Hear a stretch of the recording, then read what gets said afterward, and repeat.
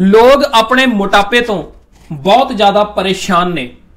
Overweight ਹੈ, ਜਿਹਦੇ ਕਰਕੇ ਨਾ ਚੱਜ ਨਾਲ ਬੈਠਿਆ ਜਾਂਦਾ ਹੈ, ਨਾ ਚੱਜ ਨਾਲ ਤੁਰਿਆ ਜਾਂਦਾ ਹੈ। ਕੱਪੜੇ ਵੀ ਇਹੋ ਜਿਹੇ ਪਾਉਣੇ ਪੈਂਦੇ ਨੇ ਕਿ ਉਹ ਪਾਏ ਹੋਏ ਵੀ ਚੰਗੇ ਨਹੀਂ ਲੱਗਦੇ। ਪੇਟ ਜਿਹੜਾ, ਉਹ ਬਾਹਰ ਨਿਕਲਿਆ ਹੋਇਆ ਮਟਕੇ ਦੀ ਤਰ੍ਹਾਂ।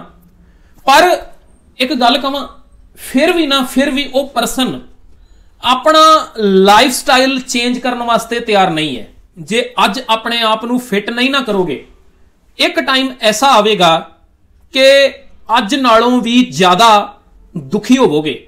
ਕਿਉਂਕਿ ਇਸੇ ਓਵਰਵੇਟ ਨੇ, ਇਸੇ ਮੋਟਾਪੇ ਨੇ, ਬਹੁਤ ਤਰ੍ਹਾਂ ਦੀਆਂ ਪ੍ਰੋਬਲਮਸ ਨੇ ਨਾ ਜਿਹੜੀਆਂ ਉਹ ਤੁਹਾਡੇ ਵਾਸਤੇ ਖੜੀਆਂ ਕਰ ਦੇਣੀਆਂ ਨੇ।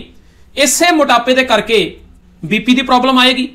ਇਸੇ ਦੇ ਕਰਕੇ ਜੁਆਇੰਟ ਪੇਨ ਦੀ ਪ੍ਰੋਬਲਮ ਆਏਗੀ, ਤੁਹਾਨੂੰ ਡਾਇਬੀਟੀਜ਼ ਦੀ ਪ੍ਰੋਬਲਮ ਆ ਸਕਦੀ ਹੈ, ਤੁਹਾਨੂੰ ਯੂਰਿਕ ਐਸਿਡ ਦੀ ਪ੍ਰੋਬਲਮ ਆ ਸਕਦੀ ਹੈ, ਤੁਹਾਨੂੰ ਕੋਲੇਸਟ੍ਰੋਲ ਦੀ ਪ੍ਰੋਬਲਮ ਆ ਸਕਦੀ ਹੈ। ਮਤਲਬ ਬਹੁਤ ਸਾਰੀਆਂ ਪ੍ਰੋਬਲਮਸ ਨੇ ਨਾ ਜਿਹੜੀਆਂ, ਉਹ ਤੁਹਾਨੂੰ ਆਉਣ ਵਾਲੇ ਟਾਈਮ ਦੇ ਵਿੱਚ ਘੇਰ ਲੈਣਗੀਆਂ। ਇਸ ਕਰਕੇ ਆਪਣਾ ਲਾਈਫ ਸਟਾਈਲ ਜਿਹੜਾ ਹੈ ਨਾ, ਉਹਨੂੰ ਅੱਜ ਹੀ ਸੁਧਾਰ ਲਵੋ। ਜਿੰਨੀ ਛੇਤੀ ਤੁਸੀਂ ਆਪਣਾ ਲਾਈਫ ਸਟਾਈਲ ਸੁਧਾਰ ਲਵੋਗੇ ਉਨੀ ਛੇਤੀ ਤੁਸੀਂ ਇੱਕ ਵਧੀਆ ਜ਼ਿੰਦਗੀ ਮਾਣ ਲਵੋਗੇ, ਇੱਕ ਤੰਦਰੁਸਤੀ ਵਾਲਾ ਜੀਵਨ ਮਾਣ ਲਵੋਗੇ, ਅੱਜ ਵਧੀਆ ਕਰ ਲਵੋਗੇ, ਕੱਲ ਤੁਹਾਡਾ ਆਪੇ ਵਧੀਆ ਹੋ ਜਾਵੇਗਾ। ਪਰ ਜੇ ਤੁਸੀਂ ਆਪਣਾ ਅੱਜ ਨਾ ਸਵਾਰਿਆ ਤੇ ਕੱਲ ਜਿਹੜਾ ਹੋਏਗਾ, ਉਹ ਬਹੁਤ ਭਿਆਨਕ ਹੋਏਗਾ।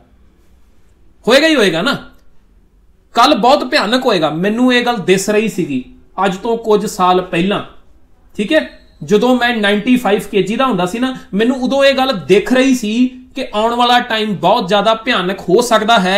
ਇਸੇ ਕਰਕੇ ਮੈਂ ਆਪਣੇ ਆਪ ਨੂੰ 95 ਤੋਂ 67 kg ਦੇ ਉੱਤੇ ਲੈ ਆਇਆ। ਇੱਛਾ ਹੈ ਤੁਹਾਡੇ ਅੰਦਰ ਆਪਣੇ ਫਿਊਚਰ ਨੂੰ ਸਵਾਰਨ ਦੀ, ਆਪਣੇ ਫਿਊਚਰ ਨੂੰ ਸੁਧਾਰਨ ਦੀ ਹੈਲਦੀ weight loss ਕਰਨ ਦੀ ਜਾਂ ਹੈਲਦੀ weight gain ਕਰਨ ਦੀ ਤੇ ਤੁਸੀਂ ਸਾਡੇ ਨਾਲ ਸੰਪਰਕ ਕਰ ਸਕਦੇ ਹੋ।